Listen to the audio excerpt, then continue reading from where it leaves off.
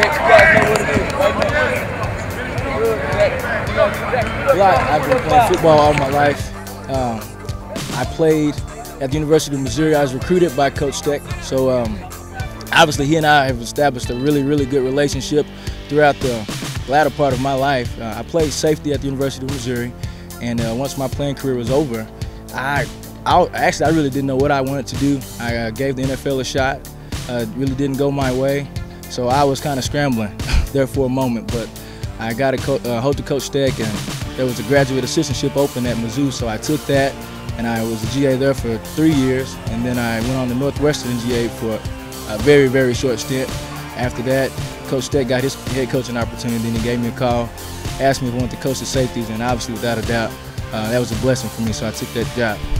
I said, okay, Ted, you stay guys, when you run, you get back at 10, all right? I try to bring, not try, but I, I do, I bring a lot of passion and and energy to everything I do, but I, I, want my players to see who I am, and hopefully they can kind of chip off of me and use that to their game. I, uh, I'm a detail-oriented guy, and to play safety, obviously you have to be ATD and you got to use attention to detail. That's what that stands for. But um, try to bring a lot of passion because I want my guys to do the same thing. I want them to be focused. So everything that I ask my players to do, I try to, to do those same things. But you, you always look for a guy who's tough, someone who's, who's passionate about the game of football, uh, a guy who's intelligent, that always helps. But someone who, who, really cares for the game, obviously the kid can run, that helps too. But uh, toughness, uh, discipline, that's something that really, really stands out for me, obviously for a defensive football player. Let's go. My job is to help those guys graduate.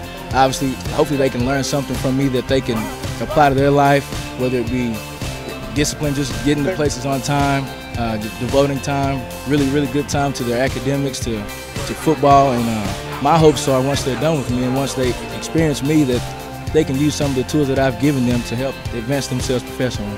What we do here, we really try to promote, not try, we, we promote a family atmosphere at Missouri State. So I would love to see family support from, from our fans, whether that be with a win, whether that be not believing this, with a loss possibly. Uh, just love and support coming out, showing their love for us, and them realizing the hard work we put in to help make their experience great here at the Wood.